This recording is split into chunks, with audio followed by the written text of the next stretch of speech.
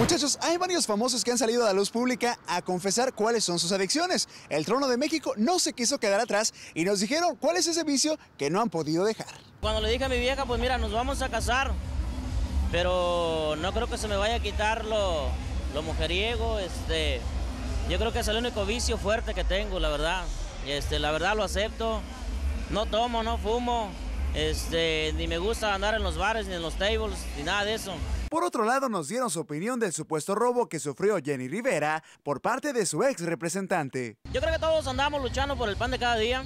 Eh, como seres humanos, a veces cometemos errores, a veces nos gana la ambición, porque yo creo que está dentro de, todo, ¿no? O sea, el dinero es bonito y eso, pero eh, yo creo que tenemos que trabajar mucho en ese aspecto, ¿no? En, en saber pues yo creo que disfrutar lo que la vida nos regala y lo que nos toca realmente, ¿no? ¿Y que cómo se protegen ellos para que no les pase lo mismo? Ah, no, pues yo traigo mi contador aquí en la bolsa.